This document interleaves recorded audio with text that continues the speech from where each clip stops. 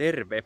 Tänään tultiin käymään täällä tota Helsingin, Helsingin Vasikkasaaressa, mistä tota löytyy mun kanavalta jo tosta laiturista niin vedet päin kuvattua videoa ja blogista löytyy tästä itse asiassa vähän tekstiikin, mutta tää on tosi mielenkiintoinen ja historiallinen paikka, niin tota, me tehdään tämmönen venekaverin tota, saariesittelyvideo tästäkin, niin saa varmaan ihan mukavaa materiaalia täältä, niin kattelehan taas tosta eteenpäin, mitä kaikkea täältä löytyy.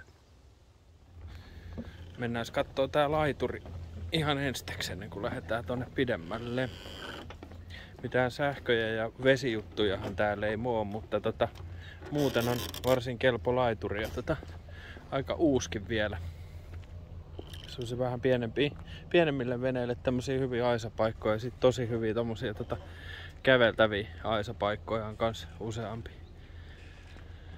Ja, ja tota, tähän mahtuu kyllä pari, parimpi isompaakin venettä. Että tässä meidän veneen vieressä oli äsken ihan suht iso purkkari ja hyvin mahtuu olemaan vielä. Että on, on reilusti tilaa.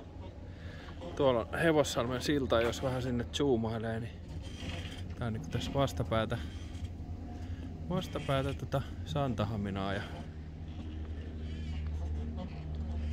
Vallisaari ja Kuninkaansaari ja sitten tonne. Ja sitten tossa tota toisella puolella on toi tommonen yhteyslautta laituri ja siinä kyllä nytkin muutaman, tota, muutaman vene olevan parkissa, mutta en tiedä onko ne sitten jonkun tota, niin, näiden saaren mökkiläisten tai muiden vastaavien veneitä.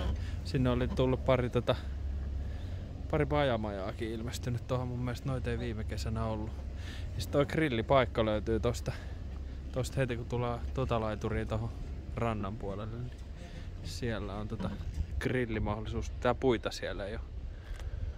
Puita sieltä ei löydy. Sitten tuossa on joku näiden tämän mökkiyhteisön tommonen sauna tossa, mutta se ei vissi ole niinku, ei ole veneilijöiden käytössä, mutta sinne sauna saarelle täältä, täältä pääsee ja siellä on kai jotain ihan yleisövuorojakin olemassa. Mut joo, lähdetään sitten saarikierrokselle seuraavaksi.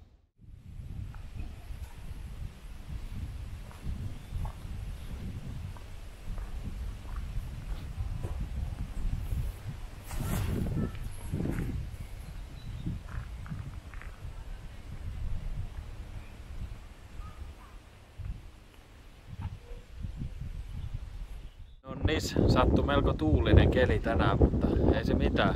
Mä oon kirjoittanut tonne blogiinkin, että täältä tota länsipuolen kalliolta niin avautuu varmaan yhdet Helsingin hienoimmista maisemista. Ja niin se kyllä, niin se kyllä totisesti onkin. Eli jos miettii, että tuolla tota, niin,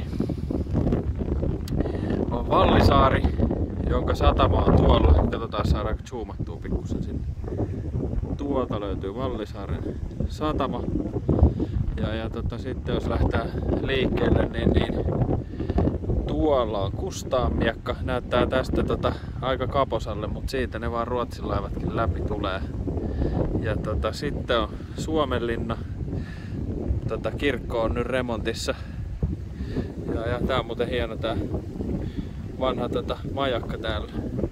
Sitten meillä on tuossa Lonna ja tuolla ehkä hämärästi justiinsa tuon pienemmän purjeveneen takana on nyt se Katajanokan luoto, mikä on kai avattu vastikään jonkunlaiseksi jopa anniskelualueeksi. Ja Helsingin keskusta ja Katajanokka ja tonne ja Merihaka ja tonne rakentuu toi uusi, uusi Kalasataman noin tornitalot. Ja tuolta vaan jatkuu sitten aina tonne niin kuin ihan Kulosaareen kasinolle, kasinolle saakka, mistä täältä näkyy. Ihan mielettömät maisemat kyllä. Tässä on vähän tyynempi päivä, niin tässä on aika makea viettää, viettää aikaa ja nautiskella ehkä Suomen yhdestä hienoimmista maisemista. Tosi makeet polkuja risteilee pitkin tätä saarta. saarta. Tota, itse asiassa tästä, tästä haarautuu tuonne Saunasaareen sitten oma, oma tota, polkunsa. Se menee jännästi. Täällä on noita tommosia, tota, niin, en tiedä onko nyt siirtolapuutarhamökkejä, mutta semmosia semmosia niinku vuokrattavia kai mökkejä, jonkunlainen mökkiyhteisö täällä koko saarella. Ja niitä täällä tota, niin, kun kävelee näillä poluilla, niin yhtäkkiä oot melkein jonkun pihassa, mutta sen ei pidä antaa, antaa sitten häiritä. Tuolla näyttäisi oleva vessojakin muutama. jatketaan eteenpäin. Joo, tällä saarella on kyllä tosi mielenkiintoinen historia liittyy tuohon niin sanottuun saarin aikaan ja mitä kaikkea silloin olikaan. Ja jotenkin tuohon niin tota, Suomenlinnan, Suomenlinnan kuvioihin tämä liittyy, mutta ihan tarkkaan mä en sitä tunne. Kannattaa kuitenkin tota, niin, niin, niin, googletella ja vähän lueskella. Se on, se on tosi mielenkiintoinen kokonaisuus. Tota, mennään seuraavaksi katsoa. Tuolla on tuommoinen tuo komendantin talo, mikä tuolla tota, mäen päällä on. Sieltä aukeaa kyllä ihan mielettömät maisemat tonne Helsinkiin, Helsingin suuntaan kanssa.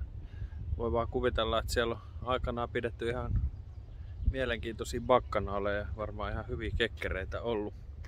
Eikä yhtään hassumpi, hassumpi paikka kyllä komendantin talolla ole ollut. Mennään kurkkaamaan sitä vähän seuraavaksi. Joo, kyllä täällä on kelvannut komendeerata, kun katsoo maisemia.